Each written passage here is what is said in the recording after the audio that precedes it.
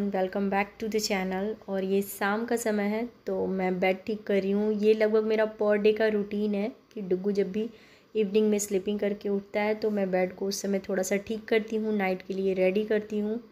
और आज का दिन ना सुपर बिज़ी रहा है। मैं बहुत थक गई हूँ। मैंने बहुत काम किया है सुबह से। घर के जो रेगुलर काम है, वो तो as it is per day है। पर आज मेरा थोड़ा सा अपना यूट्यूब का काम बहुत ज़्यादा था, वही कर रही थी।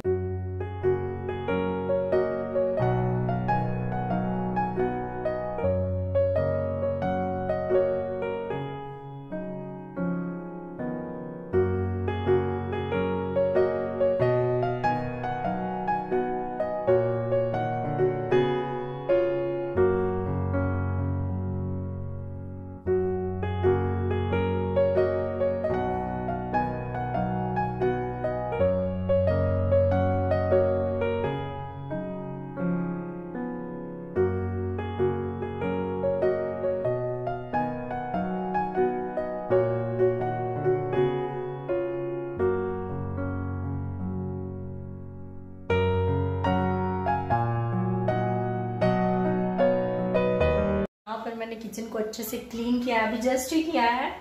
यहाँ पे मैंने सारे बर्तनों को सूखने के लिए छोड़ा है। और आज पता है मैं सुबह से काम कर रही हूँ, ऐसा लग रहा है ना? और आप सोच रहे होंगे कि मैंने इतना सारा लीपा पोती क्यों किया है? अगर मुझे घर पे रहना है सो प्लीज़ इस तरह से मत देखना। मैं क्या ना यूट्यूब के लिए एक वीडियो शूट करी थी। सो इसलिए ये इतना सारा लीपा पोती है, पर मैं अभी जा रही हूँ, उसको वॉश करूँगी। लेकिन उससे पहले मैंने सोचा कि चाय वगैरह चढ़ा दे। आपको पता ही आज मेरा व्रत है। थोड़ा सा यहाँ पे मखाने रोस्ट हो रहा है। और शाम हो गया मतलब आज मैंने इतना ज़्यादा काम किया ना घर के काम तो किए ही।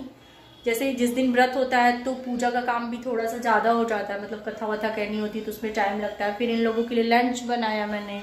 रुगू वो खेल रहा है अपनी टॉयस उसी का आवाज़ क्या कर रहे हो? हम्म खेल रहा है। तो मुझे अभी आरती भी करनी है साबु मतलब। साबुदाना को सोप करके रखा है नाइट में खाऊँगी।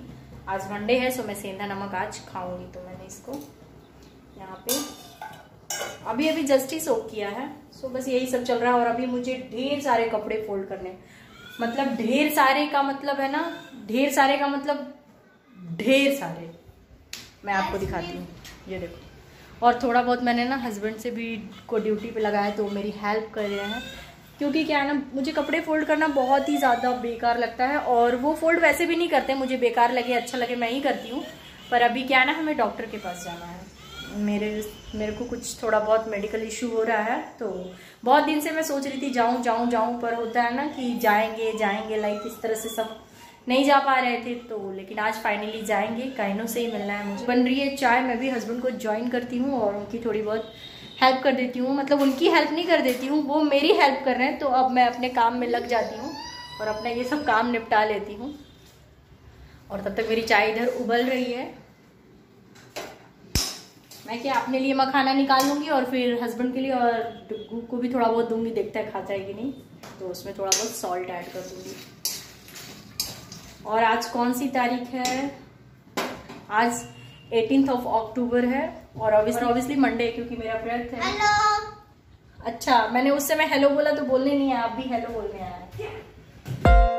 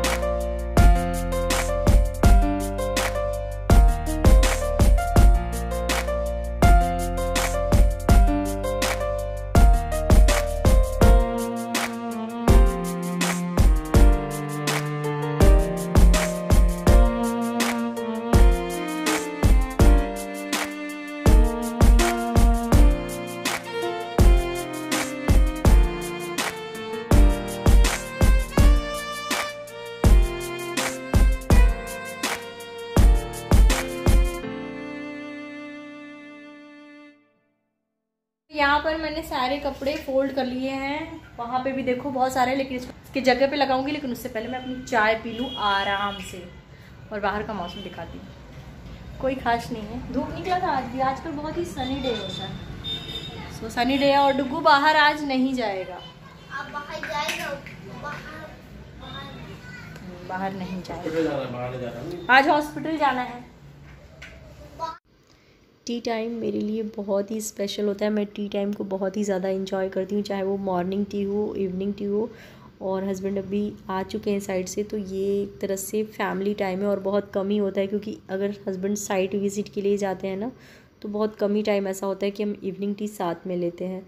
लेकिन कभी कभार जब वो होते हैं तो बड़ा ही अच्छा लगता है इस तरह से बातें करते हुए और चाय पीना। और इस टाइम को मैं इतना ज़्यादा इन्जॉय करती हूँ कि पूरे दिन का ना मेरा, मेरे लिए ये बेस्ट टाइम होता है और यहाँ पर कॉमेडी भी चल रही है। और मैं हो गई हूँ रेडी और चलते हैं डॉक्टर के पास, देखते हैं क्या है, क्या नहीं है। बहुत दिनों से सोच रही थी मैं डॉक्टर के पास जाना है। मतलब जाना ही था डॉक्टर के पास विज़िट करने, पर समहाव नहीं जा पा रही थी। पर आज फाइनली चल रहे हैं अपन और सब लोग रेडी हो गए हैं। मम्मा को इंजेक्शन दिलाने के लिए। देखो कहाँ जा रहे हैं अपन? देखो कैसे मास्क पहना है लड़का। चलिए चलते हैं डॉक्टर मुझे डॉक्टर के पास जाने में ना बड़ा ही आलस लगता है और डर भी लगता है। डुगू जितना इंजेक्शन से नहीं डरता होगा ना, उससे कई ज़्यादा मैं डरती हूँ। और लिपस्टिक वगैरह मैंने सब हटा लिया है, क्योंकि थोड़ा बहुत ही ऑड लगता है। अगर आप किसी ऐसे जगह पे जाओ और आप इतना तड़क भड़क मेकअप करके हॉस्पिटल में चले जाओ तो खुद को तो ऑकवर्ड लगता ही है। मे भी डॉक्टर भी घबरा जाए मेरे को देख के सो मैंने अपना सारा लीपा पोती को क्लीन कर लिया है। तो चलिए चलते हैं, देखते क्या होता है। और वहाँ से आने के बाद मैं आप लोगों से मिलती हूँ और कुछ ऐसा होगा तो मैं ऑब्वियसली आप लोगों के साथ शेयर करूँगी, कैसा रहा डॉक्टर के पास का विजिटिंग क्या बोला डॉक्टर ने और मुझे क्या परेशानी है। घर वापस आ गए हैं, लेकिन डॉक्टर को दिखा के नहीं, गए थे डॉक्टर से नंबर वगैरह लगा लिया अपॉइंटमेंट तो ऑलरेडी हमने ले लिया था। पर पता नहीं डॉक्टर को कुछ सडनली हुआ, वो आज लेट आएँगे। लेट इन द सेंस कि उनकी टाइमिंग थी शाम के साढ़े छः बजे और अब वो आएँगी पौने आठ तक। तो अपॉइंटमेंट तो हमने ले लिया था और हस्बैंड कल साइट विज़िट के लिए जाएँगे। तो हम वापस घर आ गए, लेकिन हम फिर जाएँगे क्योंकि घर के पास में ही है। आई थिंक घर से बहुत ज़्यादा दूर होगा तो एक किलोमीटर होगा। तो हम वापस आ गए हैं और फिर जाएँगे क्योंकि वहाँ एक डेढ़ घंटे रुकने का कोई मतलब नहीं बनता है। और डुग्गू रास्ते में ही सो गया था। शाम की आरती कर लेते हैं। और अभी टाइम हो गया है सात बज रहा अभी। तो हम थोड़ी देर से मतलब पौने आठ तक आएँगे तो साढ़े सात तक हम जाएँगे।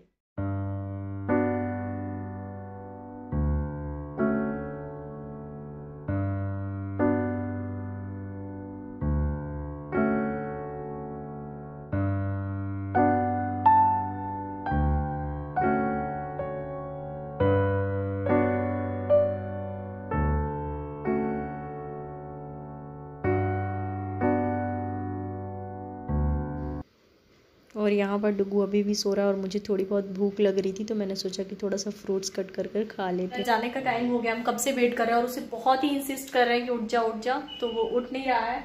और होता है ना कि जब आप सडनली सो जाओ और खुद जल्दी जल्दी कोई उठाए तो उससे अच्छा फील होगा तो हम छोड़ दे रहे हैं। तो इन शॉर्ट कि आज का जो प्लान है, वो पूरी तरह से फ्लॉप हो गया, हम डॉक्टर के पास नहीं जाएँगे क्योंकि डुगू सो रहा है, उसे इस तरह से अब डिस्टर्ब नहीं कर सकते हैं। तो चलते हैं अब तो उठेगा नहीं तो नेक्स्ट टाइम देखते कल तो नहीं जा पाएँगे क्योंकि हस्बैंड साइड पे जाने वाले हैं तो देखते कब जाते हैं। चलिए अब खाना वाना बनाते हैं।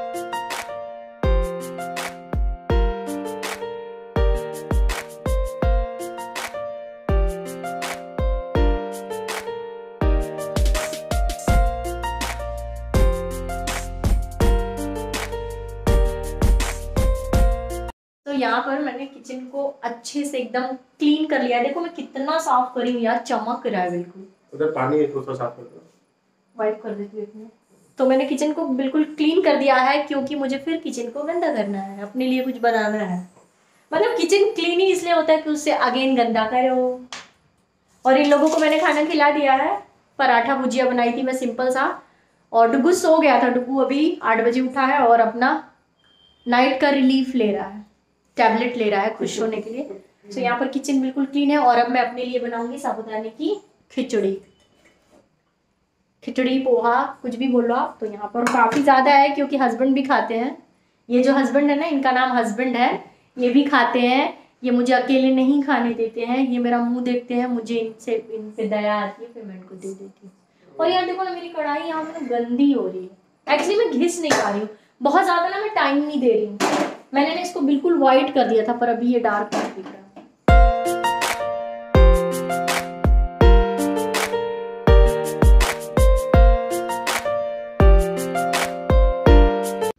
मैं आप लोगों के साथ साबुदाने की खिचड़ी की रेसिपी नहीं शेयर कर रही हूँ, क्योंकि ऑलरेडी मेरे चैनल पे है, आप जाके चेकआउट कर सकते हो।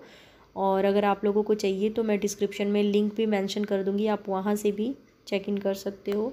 और आज तो मैं बिल्कुल फलहारी वाली सिंपल सी साबुदाने की खिचड़ी बना रही हूँ, पर मैंने जो वीडियो आप लोगों के साथ शेयर की है इसकी रेसिपी के ऊपर उस पर मैंने स्टेप बाय स्टेप बिल्कुल डिटेल में दिखाया है और बहुत ही टेस्टी बनती है हेल्दी होती है और जैसे फेस्टिवल के लिए तो ये बेस्ट रेसिपी है तो आप एक बार चेक कर सकते हो अगर आप चाहते हो तो।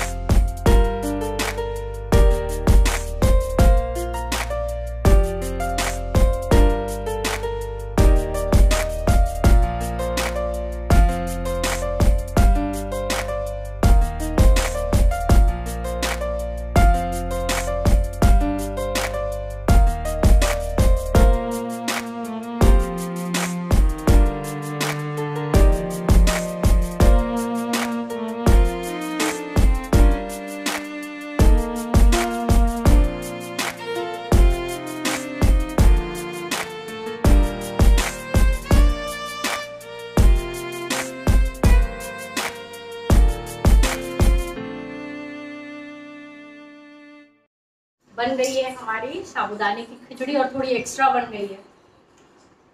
पर क्या है इसको खाने के बाद टमी बिल्कुल फुल हो जाता है और ऐसा फिर फील नहीं होता ना। व्रत है और कुछ भी इस तरह से। और हस्बैंड एज अ डिजर्ट ले रहे हैं आफ्टर डिनर खाएँगे पियेंगे डुगू को मिल्क दूँगी और फिर सो जाएँगे। कल डुगू की छुट्टी है। हाँ चल वो ये भी कुछ तो ईद है। हाँ तो कल डुगू की छुट्टी पर हस्बैंड को जाना है तो सुबह उठना है बस सो जाएँगे। ये इसकी वीडियो को मैं यहीं पे एंड करती हूँ। वीडियो अच्छी लगी तो लाइक ज़रूर कर दीजिएगा चैनल पर नए चैनल को सब्सक्राइब कर लेना। मैं मिलती हूँ आपसे नेक्स्ट ब्लॉग में तब तक के लिए thanks for watching take care bye bye good night Dugu से गुड नाइट गुड नाइट अच्छे से बोलो।